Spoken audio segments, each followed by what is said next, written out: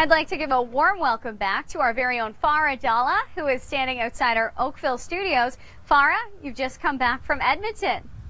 I have, Michelle. Thank you so much for the warm welcome back. So happy to be home with my TWN family after spending a year in Edmonton and visiting Okotoks, Calgary, Fort McMurray.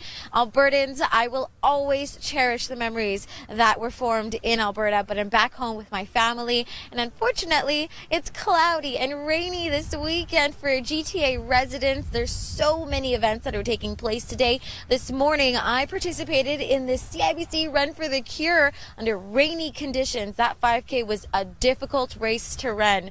And there's so many other events uh, like the Color Me Rad Run that's also taking place. More on your weather now in terms of what it feels like outside. Although it's not raining, we have a bit of a reprieve, but I have my umbrella nearby, and that's because we have in store more rain and even the chance for embedded thunderstorms.